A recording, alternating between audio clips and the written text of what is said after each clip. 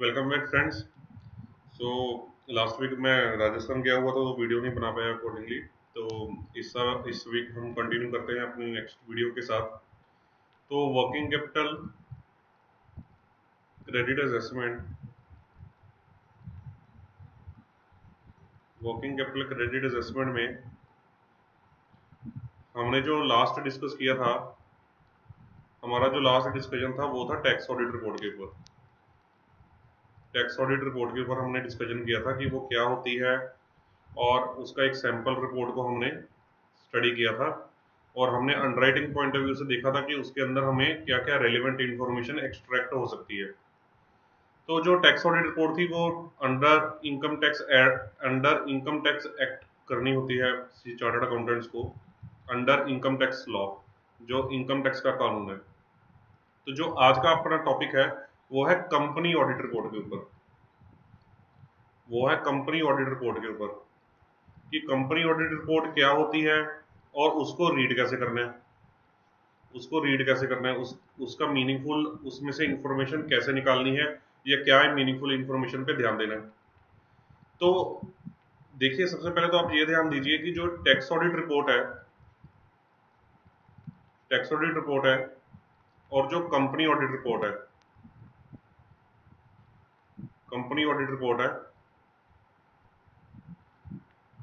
इनको गवर्न कौन करता है? पहले तो जो टैक्स ऑडिट रिपोर्ट है, वो form three C A C B three C B and three C D ऐसे तीन फॉर्म्स के अंदर ये बनाई जाती है। इसका कोई फॉर्म नहीं होता नेक्चर्स होते हैं ऑडिट ये एक इंडिपेंडेंट ऑडिट रिपोर्ट होती है। ये इंडिपेंडेंट ऑडिट रिपोर्ट होती है। इसको इंडिपेंडेंट ऑडिट रिपोर्ट भी बोलते हैं इंडिपेंडेंट ऑडिट रिपोर्ट भी बोलते हैं, इसको स्टैचुटरी ऑडिट रिपोर्ट भी बोलते हैं। स्टैचुटरी ऑडिट रिपोर्ट भी इसको बोला जाता है। मतलब ये अलग अलग नाम है। Company audit report independent audit report statutory audit report CARO report अलग होती है जो, वो एक अलग चीज़ है, उसके बारे में मैं नेक्स्ट लेक्चर में डिस्कस करूँगा। अभी मैं फ़िलहाल जो डिस्कस कर रहा हूँ, वो है company audit report independent audit report statutory audit report और ये टैक्स ऑडिट रिपोर्ट हम पिछली वीडियो में कवर किया था। तो इसके अंदर अलग फॉर्म होता है, इसका फॉर्मेट अलग होता है। ये किसको देनी होती है? इनकम टैक्स डिपार्टमेंट को। ये इनकम टैक्स डिपार्टमेंट को देनी होती है।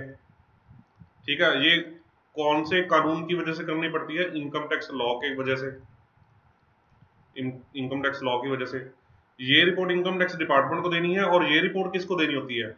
ये रिपोर्ट देनी होती है हमने शेयर होल्डर्स को, जो कंपनी के इक्विटी शेयर होल्डर्स हैं इक्विटी शेयर होल्डर्स हैं, उनको ये रिपोर्ट बना के दी जाती है, जिनको हम कंपनी के मेंबर्स बोलते हैं।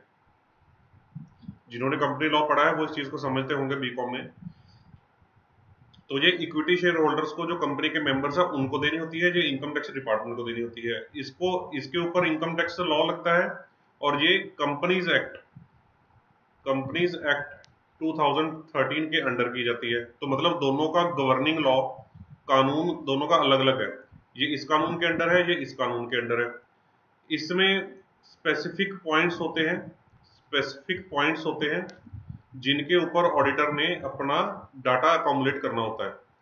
ऑडिटर ने अपना डाटा अकोमुलेट करना होता है। जो मैंने आपको उस दिन सैंपल लास्ट लेक्चर में सैंपल ऑडिट रिपोर्ट दिखा के उसमें काफ़ी सारे तीस पैंतीस जो पॉइंट्स थे उनके ऊपर ऑडिटर ने कमेंट करना होता है। तो इसका जो स्कोप है, वो लिमिटेड है। लिमिटेड स्कोप है इसका। उन पॉइंट्स तक ही लिमिटेड है। कि उन पॉइंट्स तक का कमेंट देना है। इसका स्कोप वाइडर है। इसमें कमेंट्स सिर्फ़ कमेंट्स वो वाले ऑडिट इनकम टैक्स वाले कमेंट्स नहीं है। इसमें कंपनी का वाइडर सेंस में वाइडर सेंस में ऑडिटर को बताना है। कि कंपनी कैसा काम कर रही है और उसके इंटरनल कंट्रोल्स किस तरह से है अकाउंटिंग पॉलिसीज़ उसने ठीक ढंग से अप्लाई की है या नहीं की है? मतलब मैनी अदर मैटर्स मैं सैंपल रिपोर्ट अभी आपको दिखाऊँगा तो उसके अंदर आपको क्लियर हो जाएगा। टैक्स ऑडिट रिपोर्ट क्योंकि इनकम टैक्स लॉ के अंडर रहती है, ये किसी भी कॉन्स्टिट्यूशन पे एप्लीकेबल है। किसी भी कॉन्स्टिट्यूशन पे लग सकती है, जो सेक्शन 44 ए बी ये जो टर्नओवर वाला क्राइटेरिया होता है, जो पहले एक करोड़ का टर्नओवर का क्राइटेरिया आप जानते ही हैं कि उनको ऑडिट करवाना पड़ता था तो उनको सबको ये टैक्स ऑडिट करवाना पड़ेगा। तो जो टैक्स ऑडिट ये करवाना पड़ेगा, चाहे आप प्रोप्राइटरशिप कंसर्न है, चाहे आप पार्टनरशिप कंसर्न है, चाहे आप कंपनी फॉर्म में है, चाहे आप ट्रस्ट हैं, कुछ भी है, ठीक है? तो आपको टैक्स ऑडिट एप्लीकेबल होगा। अगर आप 44 ए बी का थ्रेशोल्ड एक्सीड कर जाते हो तो। पर जो कंपनी ऑडिट रिपोर्ट है, ये सिर्फ़ कंपनीज़ और एलएलपी के केस में होती है। कंपनीज़ एलएलपी या बस कंपनीज़ आप कंपनी समझ लीजिए बस। कंपनीज़ के केस में बनाई जाती है। ठीक है? तो मान लीजिए अगर कोई प्रोपराइटरशिप कंसर्न है प्रोपराइटरशिप कंसर्न है तो प्रोपराइटरशिप कंसर्न कभी भी कंपनीज़ एक्ट के अंडर तो रजिस्टर्ड होती नहीं है। तो उसके अंदर टैक्स ऑडिट रिपोर्ट तो चाहे एप्लीकेबल हो बट कंपनी ऑडिट रिपोर्ट कभी भी एप्लीकेबल नहीं होगी। और जो कंपनीज़ होती हैं, जो खाली कंपनीज़ हैं तो कंपनीज़ के केस में टैक्स ऑडिट रिपोर्ट भी एप्लीकेबल हो सकता है और कंपनी ऑडिट रिपोर्ट भी एप्लीकेबल हो सकता है। उनको दोनों रिपोर्ट सबमिट करनी पड़ सकती है। जो उसके सीएस हैं, वो टैक्स ऑडिट रिपोर्ट भी बनाएँगे three C A three C B three C D में और कंपनी ऑडिट रिपोर्ट या इंडिपेंडेंट ऑडिट रिपोर्ट या स्टेचुटरी ऑडिट रिपोर्ट जिसको हम बोलते हैं, ये भी बनाएँगे सेम कंपनी की, यानी कि दो अलग अलग रिपोर्ट्स बनेंगी। और जो प्रैक्टिकली काम करते हैं, वो तो इस चीज़ को बड़े ही इजिली और आसानी से जानते हैं कि प्रैक्टिकली भी दो दो रिपोर्ट्स एक कंपनी की काफ़ी बारी बनती भी है।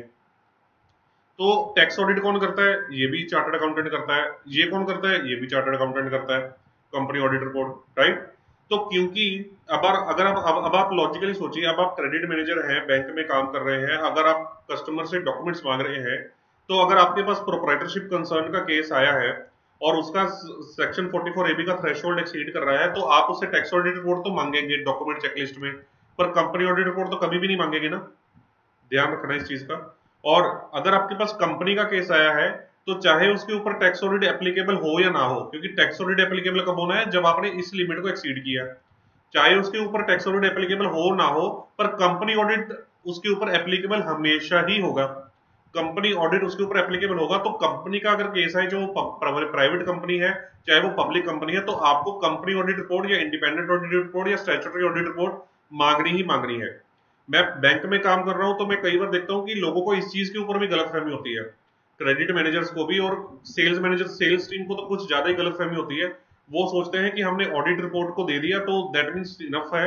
तो कई बार क्या होता है कि कंपनीज़ के केस में वो टैक्स ऑडिट रिपोर्ट दे देते हैं और हम मांगते हैं उनसे कि कंपनी ऑडिट रिपोर्ट भी दो और उनको ये समझ आता नहीं है कि कंपनी ऑडिट रिपोर्ट क्यों मांग रहे हैं। तो भाई company audit report is all together different from tax audit report कई बार वाइसा वर्षा होता है कि कंपनी ऑडिट रिपोर्ट दे देते हैं और टैक्स ऑडिट नहीं देते और उनको ये चीज़ समझ नहीं आती कि दोनों चीज़ें अलग अलग है। कई बार क्लाइंट के अकाउंटेंट को समझ नहीं आता कि उसको हम चेकलिस्ट में लिख के भेज देते हैं कि भैया ऑडिट रिपोर्ट दे दो। वो टैक्स ऑडिट रिपोर्ट चिपका देता है और पाँच दिन बाद हम दोबारा मांगते हैं कि भाई कंपनी ऑडिट रिपोर्ट भी मांगी थी, वो भी दो, क्योंकि आपकी कंपनी फॉर्म भी रजिस्टर्ड है। तो इन चीज़ों का डिफरेंस आपको क्लियर होना चाहिए कि ये दोनों चीज़ें बिल्कुल अलग अलग है। करेक्ट तो टैक्स ऑडिट रिपोर्ट के बारे में तो हम डिटेल में स्टडी कर चुके हैं। तो अब हम ऑडिट कंपनी ऑडिट रिपोर्ट के बारे में स्टडी करते हैं। ये देखिए एक कंपनी ऑडिट रिपोर्ट मैंने गूगल से ही डाउनलोड की थी। देखिए इसका नाम क्या रखा गया है? Independent audit report independent auditors report ठीक है? अभी हम आ, आज हमने और कुछ नहीं करना बस इसी को ही पढ़ना है। देखिए ये एड्रेस किसको की गई है? To the members of Shri Renuka Transport Private Limited members यानी कि जो शेयर होल्डर्स हैं उनको एड्रेस की गई है। ठीक है? तो अब देखो ऑडिटर क्या क्या लिख रहा है इसके अंदर। ऑडिटर देखिए क्या क्या लिख रहा है। वो लिख रहा है कि we have audited the Ind AS financial Indian AS मतलब इंड अकाउंटिंग स्टैंडर्ड्स हैं इंडियन अकाउंटिंग स्टैंडर्ड्स हैं, जो इंटरनेशनल के साथ टाई अप करके बनाए गए हैं काइंड ऑफ़ तो institute of chartered accountant of India की तरफ़ से रेफर्ड है तो उसके उसके अंदर सर्टन लॉज होते हैं कि किन लॉज के अंदर कंपनी अकाउंटिंग करेगी। तो कंपनीज़ एक्ट इनको रेफर करता है। तो वो बता रहा है कि इंडिया के अंदर हमने फाइनेंशियल स्टेटमेंट्स का Renuka Transport Private Limited company का जो कि इकतीस तीन इक्कीस की है, इससे आपको पता चल जाएगा कि आप ऑडिट रिपोर्ट कौन से साल की पढ़ रहे हैं। Statement of profit and loss account statement of change in equity cash flow statement notes to account significant accounting policies और अकाउंटिंग एक्सप्लेनेटरी इंफॉर्मेशन सबका हमने ऑडिट किया है। हमारे ओपिनियन में in our opinion and to the best of our information देखिए ये बता किसको रहे हैं मेंबर्स को, कि अब अब हम बैंकर हैं तो हम एज अ बैंकर भी पढ़ रहे हैं, क्योंकि हमने भी पैसा लगाना है ना कंपनी में। हमारे ओपिनियन में तो हमारे बेस्ट ऑफ़ इंफॉर्मेशन के मुताबिक और एक्सप्लेनेशन के मुताबिक। तो कंपनी कंपनी ने क्या किया हुआ है कि इंडिया के अकॉर्डिंग जो बैलेंस शीट्स बनाई है, देखिए, इसमें ऑडिटर जो है आपको फ़र्स्ट पैराग्राफ में ये समझा रहा है कि जो इंडियस है मतलब इंडिया को समझिए कि अकाउंटिंग करने के जो कानून है अकाउंटिंग करने के जो रूल्स हैं, उसने जो अपनी फाइनेंशियल स्टेटमेंट्स बनाई हैं, ये वाली फाइनेंशियल स्टेटमेंट्स ये वाली फाइनेंशियल स्टेटमेंट्स जो उसने बनाई हैं, वो सारी उन्हीं के अकॉर्डिंग बनाई है। ठीक है? वो सारी उन्हीं के अकॉर्डिंग बनाई है। पहले वो ये बता रहा है कि वो ट्रू एंड फेयर व्यू दे रही है। मतलब क्या है? ट्रू एंड फेयर व्यू का मतलब क्या है कि भाई, कल को ये नहीं है कि उनका एक्चुअल रिकॉर्ड कुछ और है और प्रेजेंट बैलेंस शीट में प्रेजेंट कुछ और किया हुआ है। मतलब घपला नहीं है। ठीक है? तो अकाउंटिंग प्रिंसिपल्स को जनरली अप्लाई किया गया है। करेक्ट अब कह रहे हैं, अब अब इन्होंने यहाँ पे दे दिया अपना ओपिनियन कि मेरा ये ओपिनियन है। अब यहाँ पे बता रहे हैं कि मैं इस ओपिनियन तक कैसे पहुँचा? बेसिस ऑफ़ आवर ओपिनियन कहते कि हमने जो ऑडिट किया है, वो ऑडिटिंग स्टैंडर्ड्स के बेस्ड के ऊपर किया है। Institute of chartered accountant of India accounting के जैसे रूल्स बनाती है, वैसे ही ऑडिट करने के भी रूल्स बनाती है कि ऑडिट कैसे कैसे करना चाहिए। ठीक है? तो हमने जो ऑडिटर उसके जो और स्टैंडर्ड ऑफ़ ऑडिट्स के अकॉर्डिंग अपना ऑडिट को किया है और उसको पूरे ड्यू डिलिजेंस के साथ हमने निभाया है। अब देखो वो क्या रिपोर्ट कर रहे हैं? Material uncertainty related to going concern वो कह रहे हैं कि हमें लग, हम गोइंग कंसर्न का क्या मतलब होता है कि जो कंपनी है वो लगातार चलती रहेगी। वो कंपनी लगातार चलती रहेगी बंद नहीं होने वाली। अगर कहीं पे ऑडिटर को ऑडिट करते समय ये ध्यान रहे, ये लगे कि कंपनी गोइंग कंसर्न नहीं है कंपनी बंद हो सकती है तो वो उसके ऊपर कमेंट करेगा। देखिए एज अ बैंकर हमारे लिए ये इन्फॉर्मेशन कितनी इंपॉर्टेंट है। अगर कल को ऑडिटर ये कमेंट कर रहा है कि मेरे अकॉर्डिंग ये कंपनी गोइंग कंसर्न है तो अपने को ये पता लग जाता है कि भाई ऑडिटर को कोई ऐसी क्रिटिकल इन्फॉर्मेशन नहीं मिली जिसकी वजह से कंपनी के ऊपर उसको कंपनी की फ्यूचर के ऊपर उसको डाउट हो। अगर उसको मिलती तो वो रिपोर्ट करता तो वो रिपोर्ट करता। करेक्ट तो देखिए, उसने रिपोर्ट किया है कि उसके लॉसेज हैं, उसकी जो कैपिटल है वो इरोड हो चुकी है, खत्म हो चुकी है, इस तरह से लॉसेज है। तो कंपनी के लाइबिलिटीज ज़्यादा है करंट एसेट्स कम है तो इस वजह से company may be unable to recharge discharge its liability कि अपनी लाइबिलिटीज को कंपनी पे ऑफ़ नहीं कर पाएगी। तो इस वजह से हमें डाउट है कि कंपनी गोइंग कंसर्न है या नहीं है। गोइंग कंसर्न रह पाएगी या नहीं रह पाएगी। देखिए, कितनी क्रिटिकल इन्फॉर्मेशन है। अगर आप ये इन्फॉर्मेशन पहले ही पढ़ लेंगे प्रपोजल में तो आपका केस सीधा सीधा डिसीज़न हो जाएगा। सीधा सीधा आप रिजेक्ट कर देंगे केस कि भाई मेरे को और केस में घुसने की ज़रूरत नहीं है ऑडिटर ने ये लिखा हुआ है कंपनी के बारे में। करेक्ट बात है ना? तो एक और चीज़ मैं ऑफलाइन आपको बता रहा हूँ कि ऑफलाइन तो क्या हम है तो सारा पब्लिक में कि भाई ये जो चार्टर्ड अकाउंटेंट्स की रिपोर्ट होती है, अगर चार्टर्ड अकाउंटेंट ने यहाँ पे चलो लिख दिया कि गोइंग कंसर्न नहीं है तो आपने इस चीज़ को पूरा पत्थर की लकीर समझ के मान लेना कि उसने लिखा है तो बहुत सोच के लिखा होगा। ठीक है? अदरवाइज़ 99 परसेंट केसेज में अगर वो गोइंग कंसर्न के ऊपर उसको डाउट भी हो ना तो तब भी सीएस रिपोर्ट करते नहीं है। वो ये लिख देंगे कि मेरे व्यू में तो या मेरे को जो इन्फॉर्मेशन प्रोवाइड की गई, अपना पल्ला झाड़ देंगे। कि उसके अकॉर्डिंग तो मेरे को लगता है कि गोइंग कंसर्न है, बाकी तो मैनेजमेंट की रिस्पॉन्सिबिलिटी होती है, इस तरह से। तो अगर उसने ये लिख दिया ऑडिट रिपोर्ट में कि भाई गोइंग कंसर्न है, और आपको आपका सेल्स वाला बोले कि देखो सेल्स उसने, उसके सीए ने लिखा है कि गोइंग कंसर्न है तो आप क्यों डाउट कर रहे हो कंपनी के ऊपर? तो भाई ये चीज़ के साथ उसको समझा देना कि भाई मेरे को अपनी असेसमेंट तो पूरी करनी करनी है। उसके सीए ने अगर गोइंग कंसर्न लिख भी दिया तो मेरे को उससे कोई मतलब नहीं है। तो मेरे को तो अपनी एडजस्टमेंट के अकॉर्डिंग जज करना है कि वो गोइंग कंसर्न है या नहीं है। हाँ अगर उसको लिख दे कि नॉट गोइंग कंसर्न फिर हम मानेंगे, क्योंकि हम कंजर्वेटिव होकर चलेंगे इस चीज़ में। करेक्ट तो देखिए ये उसने ये ओपिनियन अपना दिया। उसके बाद वो की ऑडिटर मैटर्स में बताएगा कि मतलब जो उसने क्या क्या ऑब्जर्वेशन उसकी आई है कि जैसे उसने बताया कि कंपनी ने डेफर टैक्स एसेट को आ, अपना रीजनेबल सर्टेनिटी के साथ हम अजेस्ट नहीं कर पाए या उनको उसने उसमें डाला नहीं। जो भी उसका ओपिनियन है जो उसके डिस्क्लेमर्स हैं वो यहाँ पे डालेगा ऑडिट मैटर्स में अपने। ठीक है? इसमें आपको की उसकी अकाउंटिंग का पता चल जाएगा कि भाई अकाउंटिंग में अकाउंटिंग करते समय कंपनी ने क्या क्या चीज़ों का किया हुआ है ऊपर नीचे कि जो उसके फाइनेंशियल रिज़ल्ट को इम्पैक्ट कर सकती थी।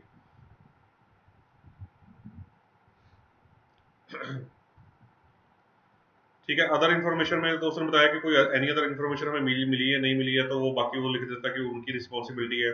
यहाँ पे इसने अपना पल्ला झाड़ दिया कि भाई आ, मैं अपना ओपिनियन दे रहा हूँ बट जो मे, मेरे ओपिनियन का मतलब ये देखिए यही चीज़ होती है कि उसका सीए अगर लिख भी दे कि गोइंग कंसर्न है तो वो कह रहा है कि मैं अपना ओपिनियन दे रहा हूँ पर ये मैनेजमेंट की रिस्पॉन्सिबिलिटी होती है और जो गवर्नेंस कर रहे हैं कंपनी की उनकी रिस्पॉन्सिबिलिटी होती है कि financial statements are free from material misstatement and मतलब कोई भी एरर से, कि उसमें कोई एरर ना हो मिसस्टेटमेंट ना हो, कोई फ्रॉड ना हो। देखिए ऑडिटर ने तो अपना ऑडिट करना है। आपने उसको इनवॉइस ही फेक दिखा दिए सारे। तो वो तो ऑडिट करके चला जाएगा इनवॉइस के हिसाब से बुक्स की एंट्री को तो उसको कैसे पता चलेगा कि ये इनवॉइसेस फेक थे या नहीं थे? तो कहते हैं मैनेजमेंट की रिस्पॉन्सिबिलिटी होती है। ठीक है? देखिए in preparing the financial statement management is responsible for assessing the company's ability to going as going concern ठीक है, कहते हैं ये मैनेजमेंट की रिस्पॉन्सिबिलिटी होती है। हमने तो जो अपना ओपिनियन था, हमने अपना ओपिनियन दे दिया, बाकी मैनेजमेंट का हिसाब किताब होता है। ठीक है तो अगर कल को मैं ऑडिटर ये लिख भी रहा है कि ये गोइंग कंसर्न है तो आपको उसकी बात पे यकीन नहीं करना। आपको एज अंडर राइटर अपने केस को पूरा जज करना है। तो ऑडिटर ने अपनी रिस्पॉन्सिबिलिटी बताई है कि मैंने ऐसे अपना फाइनेंशियल स्टेटमेंट को ऑडिट किया है। Our objective is to obtain reasonable assurance insurance नहीं अश्योरेंस हम अपना आपको भरोसा आपको वो पक्का पक्के पैर ही नहीं बता पा रहे। हम हम ये बता पा रहे हैं जस्ट कि भाई जो मटेरियल कोई मिस स्टेटमेंट इसमें नहीं है, कोई फ्रॉड या एरर नहीं है, जितना हमको इन्फॉर्मेशन प्रोवाइड की गई है, उसके हिसाब से। ठीक है? इसी, वही चीज़ों को आगे कंटिन्यू कर रहे हैं। आप एक बार रीड कर लीजिए, मैं इसको क्विकली गो थ्रू कर देता हूँ नीचे। तो कोई फाइनेंशियल कंट्रोल में कोई एरर नहीं है, कोई अकाउंटिंग पॉलिसी में कोई दिक्कत नहीं है, कोई मैनेजमेंट का गोइंग कंसर्न का फंडा उनका ही होता है। देखिए, हम पर, हम ये जैसे छोटे छोटे लाइंस हैं कि we communicate with those charge with management with governance regarding among other matters, the planned scope and timings of audit, significant audit finding internal controls कहते हैं हमने जो भी ऑडिट फाइंडिंग्स थी, जो डेफिशिएंसीज थी, हमने मैनेजमेंट के साथ डिस्कस कर ली हैं। ठीक है? तो we have we also provide those charge with statement that we have complied with relevant ethical requirement कि हमने एथिक्स के साथ, सच्चे समुचे ऑनेस्टी के साथ काम किया है। ठीक है? अब देखिए लीगल एंड रेगुलेटरी रिक्वायरमेंट्स के ऊपर उनका, उन्होंने अपना रिपोर्ट दिया है। क्या रिपोर्ट दिया है? ये ध्यान से पढ़ने वाला होता है अपने को एज अंडरराइटर भी। We have sought and obtained all the information and explanation to the best of our knowledge and belief हमने जितना हमें समझ आया था उसके हिसाब से हमने सारी इन्फॉर्मेशन ली है। देखिए हमारे ओपिनियन में proper books of account maintained है। ये अपने लिए एज अंडरराइटर जानने वाली इन्फॉर्मेशन है। Balance sheet profit and loss account cash flow statements are in agreement with books of account कि बुक्स ऑफ़ अकाउंट में जो एंट्री है जो टैली uh, में सॉफ्टवेयर में जो बुकिश एंट्रीज की हुई है उनके हिसाब से बैलेंस शीट और प्रॉफिट एंड लॉस अकाउंट बनाए हैं। और उसमें कोई ऐसा नहीं है कि घपला किया हो। ऑडिटिंग स्टैंडर्ड्स को अप्लाई किया गया है। डायरेक्टर से जहाँ जहाँ रिटर्न वादे लेने हैं, वो ले चुके हैं। इंटरनल फाइनेंशियल कंट्रोल यानी कि कंपनी में ऐसा नहीं है कि कोई एक दूसरे के काम को कोई चेक नहीं कर रहा। सब लोग अपनी ईमानदारी से काम कर रहे हैं और सब लोगों को का काम चेक करने के लिए प्रॉपर वहाँ पे पॉलिसीज़ प्रोसेसेस बने हुए हैं। ठीक है? ये देखिए सबसे इंपॉर्टेंट लाइन कि company does not have any pending litigation ये तो मैंने प्रैक्टिकली आप लगाइए कि काफ़ी केसेस में देखा। कि एक दो केसेस तो मैंने खुद रिजेक्ट किए कि जब उन्होंने लिखा कि कंपनी के ऊपर पेंडिंग लिटिगेशन काफ़ी चल रहे हैं। तो उससे अपने को पता चल जाता है कि भाई कंपनी कहीं फंसी हुई है, कि उसके ऊपर पहले केसेस चल रहे हैं, उन केसेस की वजह से उनके ऊपर काफ़ी लाइबिलिटी आ गई है। बट अगेन आपको अगर ऑडिटर ने यहाँ पे लिख दिया कि पेंडिंग लिटिगेशन नहीं है तो आपको इस चीज़ को लेके पकड़ के नहीं बैठ जाना कि भाई ऑडिटर ने लिख दिया तो बस अब इसके ऊपर कोई लिटिगेशन है ही नहीं। मैं बता रहा हूँ ninety nine percent of the time ये जो रिपोर्टिंग होती है वो इनएक्यूरेट होती है। बट कहीं ना कहीं आपको कुछ इन्फॉर्मेशन तो मिलती है यहाँ से। ठीक है? तो मैं ऑडिट रिपोर्ट जब कंपनी ऑडिट रिपोर्ट हमेशा जब पढ़ता हूँ ना तो उसमें से मैं सिर्फ़ कंसर्न वाले पॉइंट ढूँढने की कोशिश करता हूँ। ये जो पॉइंट्स है ना कि कंपनी ने सारी बुक्स ऑफ़ अकाउंट को कंप्लाई किया है प्रॉपर मेंटेन किया है प्रॉपर फाइनेंशियल कंट्रोल है, कोई लिटिगेशन नहीं है गोइंग कंसर्न कंपनी है, इन चीज़ों के ऊपर तो मैं कभी ध्यान ही नहीं देता। अगर ऑडिटर ने इन चीज़ों को लिखा भी है ना पॉजिटिव लिखा भी है तो मैं इन चीज़ों के ऊपर कभी ध्यान ही नहीं देता। मैं कंपनी ऑडिट रिपोर्ट उस सिर्फ़ इसी कंटेक्स्ट में पढ़ने की कोशिश करता हूँ कि कहीं ऑडिटर ने कोई नेगेटिव इन्फॉर्मेशन रिपोर्ट तो नहीं की। अगर की है तो फिर मैं उसको पकड़ लेता हूँ, उससे नेगेटिव इन्फॉर्मेशन को। अगर उसने सारा कुछ पॉजिटिव ही पॉजिटिव लिखा है तो वो तो मेरे को पता ही होता है कि 99% ऑफ़ द ऑडिट रिपोर्ट्स में आपको पॉजिटिव ही मिलेगा। नेगेटिव लिख के देगा ही नहीं, चाहे वो नेगेटिव उसको पता चल भी जाए, तब भी वो रिपोर्ट नहीं करेगा। ठीक है ये सबको ही पता है कि ऐसा होता है। उसके बाद नीचे आ जाइए। अनेक्जर ए देखिए उसके बाद फिर उन्होंने लिखा है कि मेंटेन प्रॉपर रिकॉर्ड्स ठीक है? कहते हैं फिक्स एसेट की फ़िज़िकल वेरिफिकेशन उन्होंने कम मैनेजमेंट ने की है कोई आ, वो नहीं आई है। मतलब इसमें उन्होंने लिख दिया कि फ़िज़िकल वेरिफिकेशन जो है डज नॉट अराइज लिखा हुआ है बट मतलब जो उसमें भी आप टैक्स में देखेंगे ना उसमें ये लिख देते हैं कि मैनेजमेंट करती है फ़िज़िकल वेरिफिकेशन ठीक है? कहते हैं कोई इनके पास इन्वेंट्री नहीं है ठीक है? ये आपके लिए कंसर्न वाले पॉइंट होते हैं वैसे बेसिकली कि कोई इन्वेंट्री नहीं मेंटेन करी हुई। कोई कंपनी ने किसी और फर्म में लोन लोन नहीं दिया हुआ, ये इंपॉर्टेंट पॉइंट है। कोई गारंटी सिक्योरिटी नहीं दी हुई, ठीक है? सेक्शन 185 186 के अंडर ये भी आपके लिए इंपॉर्टेंट पॉइंट है देखने वाला एज अंडर राइटर कि भाई कोई गारंटी वगैरह तो नहीं दे रखी उन और लोन्स में, ठीक है? कोई भी अनडिस्प्यूटेड अमाउंट पेबल नहीं है, ये भी अपने लिए इंपॉर्टेंट इंफॉर्मेशन है, कि गवर्नमेंट को कोई पैसा ऐसा डिस्प्यूट वाला नहीं है कि अनडिस्प्यूटेड अमाउंट है सारी। ठीक है?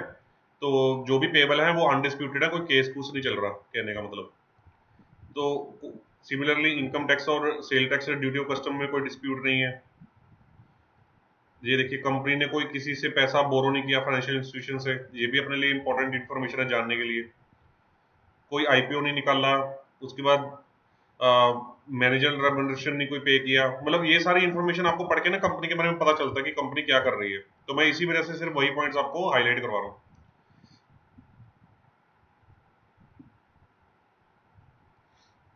उसके बाद देखिए रिलेटेड पार्टी ट्रांजेक्शन का आ गया कि अपने ही ग्रुप कंसर्न्स के साथ कोई ट्रांजेक्शन की हैं तो उनको एडिक्वेटली डिस्क्लोज किया गया। वो notes of accounts notes to accounts में डिस्क्लोज किया होता है, उसमें आपको पढ़ना बहुत ज़रूरी है इस चीज़ को। तो ये चीज़ हो गई आपके। और उसके बाद आ गया आपका, ऊपर मैं एक बार आपको एक और पॉइंट हाईलाइट कर देता हूँ यूडीआई यूडीआईन मेंशन किया है, मैंने आपको लास्ट लेक्चर में भी समझाया था कि यूडीआईन अगर है यहाँ पे तो आपको ऑनलाइन जाके institute of chartered accountant of India की वेबसाइट पे जाके इसको वेरीफाई करना है। और वहाँ पे जाके आप इस मेंबर को भी वेरीफाई कीजिए। कि इसने सीए है जो, इसने अपना मेंबरशिप नंबर डाला हुआ है यहाँ पे तो भाई, ये मेंबर एक्टिव है या नहीं है? पता लगे कि कोई बोगस ये था, ये तो बंदे की डेथ ही हो चुकी थी इस मेंबरशिप नंबर वाले। तो मतलब ये मेंबरशिप नंबर एक्टिव है भी या नहीं? ये आप चेक कर लीजिए वेबसाइट पे जाके। इसके बाद एनेक्जर बी आ गया। एनेक्जर बी तो इंटरनल फाइनेंशियल कंट्रोल पे ऊपर होता है कमेंट इंटरनल फाइनेंशियल कंट्रोल क्या होते हैं कि जैसे कोई बंदा कंपनी में काम कर रहा है तो ठीक है तो मान लीजिए आपने अकाउंटेंट रखा हुआ है, और अकाउंटेंट के काम के ऊपर कोई कंट्रोल ही नहीं है, वो जिस मर्ज़ी को पेमेंट दे रहा है, जिस मर्ज़ी से पेमेंट ले रहा है उसको कोई चेक नहीं कर रहा, जब मर्ज़ी वो फ्रॉड करके निकल सकता है, कुछ भी कर सकता है। ठीक है तो इंटरनल फाइनेंशियल कंट्रोल का मतलब ये होता है कि हमने कंपनी के अंदर इस तरह से प्रोसेस पॉलिसीज़ प्रोसेसेस इस तरह से बनाए हुए हैं कि कल को एक एक बंदे का काम दूसरा बंदा चेक करता हो और कोई बंदा अपनी अथॉरिटी को मिस यूज़ ना कर सकता हो। तो उसमें उन्होंने लिख दिया कि ये तो मैनेजमेंट की रिस्पॉन्सिबिलिटी होती है इंटरनल फाइनेंशियल कंट्रोल बनाना, हमने नहीं बनाने होते। तो हमारा, हमारी रिस्पॉन्सिबिलिटी क्या होती है कि हमने तो सिर्फ़ एक ओपिनियन देना होता है कि उसके उनके कंपनी में इंटरनल फाइनेंशियल कंट्रोल है या नहीं है बेसिस अपने ऑडिटिंग स्टैंडर्ड्स के हम जो चेक करते हैं। ठीक है? अब उन्होंने मीनिंग बता दिया। मीनिंग मैंने आपको ब्रीफ कर ही दिया कि भाई कोई अपनी अथॉरिटी को मिस ना कर पाए। ठीक है? उसके बाद उन्होंने ओपिनियन दे दिया कि भाई हमारे अकॉर्डिंग ये स्टैंडर्ड ओपिनियन होता है कि हमारे अकॉर्डिंग वो इंटरनल फाइनेंशियल कंट्रोल एग्जिस्ट करते हैं। बस ये उनकी उसके बाद बैलेंस शीट स्टार्ट होगी तो ये चीज़ होती है उनकी कंपनी की ऑडिट रिपोर्ट इसमें से पाँच सात पॉइंट ही होते हैं, जो पेंडिंग लिटिगेशन वाला हो गया कोई कॉन्टीजेंट लाइबिलिटी वाला हो गया, कोई वो हो गया कि हमने कोई नया लोन रेज किया रिलेटेड पार्टी ट्रांजेक्शन और जो मैनेजेरियल रेमुनरेशन हो गया, और पेंडिंग लिटिगेशन हो गया कंपनी जो गवर्नमेंट्स को PF central sale tax income tax wealth tax कुछ भी इस तरह की लाइबिलिटी कोई डिस्प्यूट पे तो नहीं है, इन तरह के कमेंट्स हो गए। वो चीज़ें सारी कंपनी ऑडिट रिपोर्ट में प्रेजेंट की जाती है। बेसिकली आज के लेक्चर से आपको समझ में क्या आना था कि टैक्स ऑडिट और कंपनी ऑडिट रिपोर्ट दोनों डिफरेंट चीज़ें हैं। ये कब मांगनी है ये आपको पता होना चाहिए। और किन किन केसेस में लेनी है और इन दो इन, इन कंपनी ऑडिट रिपोर्ट से रेलिवेंट इन्फॉर्मेशन अपने को क्या मिलती है। और बस वही चीज़ को पकड़ के चलिए कि कंपनी ऑडिट रिपोर्ट में अगर सब कुछ अच्छा लिखा भी हुआ है तो उसको आपने अपनी ज़िंदगी का हिस्सा नहीं बनाना अपने प्रपोजल का डिसीज़न उसके ऊपर नहीं बनाना। उसमें से सिर्फ़ आपको कोई क्रिटिकल और नेगेटिव इन्फॉर्मेशन को एक्सट्रैक्ट करना है। बाकी 99% ऑफ़ द केसेस में एमएसएमई में देखेंगे कि सारी पॉजिटिव इन्फॉर्मेशन ही डाली होती है। ठीक है? तो आपको अपना क्रेडिट अंडरराइटिंग इंडिपेंडेंटली उसी तरीके से एडजस्ट करना है। करेक्ट तो नेक्स्ट लेक्चर में हम मेरे को पीछे कुछ लोगों ने बोला था कि three C A three C B के बीच में डिफरेंस भी समझा देना। और वो मैं नेक्स्ट लेक्चर में कवर करवा दूँगा आपको पाँच दस मिनट लगा के। और साथ में आपको मैं कारो रिपोर्ट के ऊपर भी कुछ बताऊँगा। और फर्दर कुछ और चीज़ें हैं, इनके ऊपर मैं आपको डिस्कस करूँगा। तो बाकी मैं आपको नेक्स्ट संडे मिलूँगा। Guys thank you thank you very much